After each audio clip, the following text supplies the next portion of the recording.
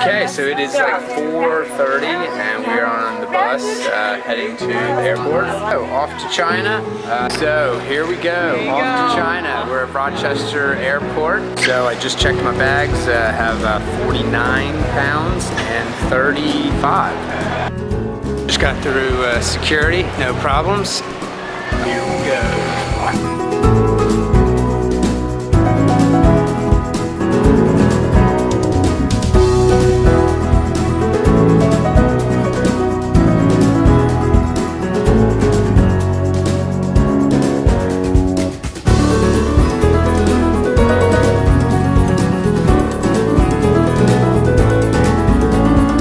Uh, landed in O'Hare, Chicago, uh, four hours to Seoul. So thought we were all good to go, but apparently we have to go back through security. Are finally getting on our flight to uh, Korea. Hi. Hi. Hey. We're the Korean lady.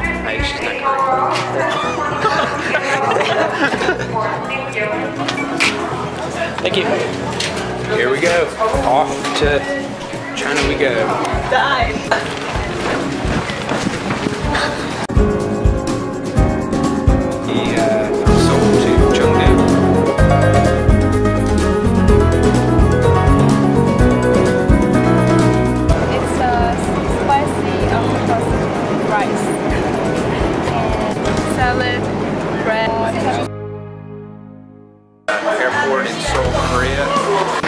Fell asleep on the uh, bench in uh, the airport.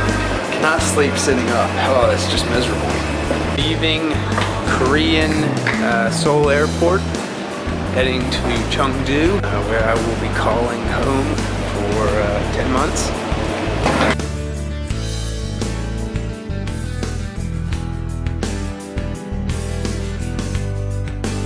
We have landed in Chengdu, for 10 months, transit for 30 hours or so, ready to get to the hotel, ready to sleep, ready to take a shower because Hi. walking off uh, Chengdu here. Got through customs, all of our luggage. It's cool to be back uh, back in China. First uh, exposure to Chengdu. That's green taxis nonetheless. You got you get in a line here and you just hop in the taxi. Taking our first taxi ride to the hotel.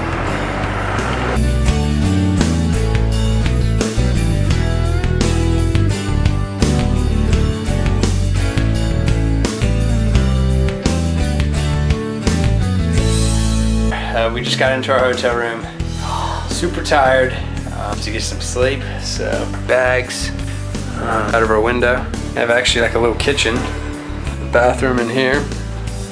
Not very well lit, but you know, take a shower here, and uh, there's not much breakup of the bathrooms. We're getting our first adventure of the, of the trip. What?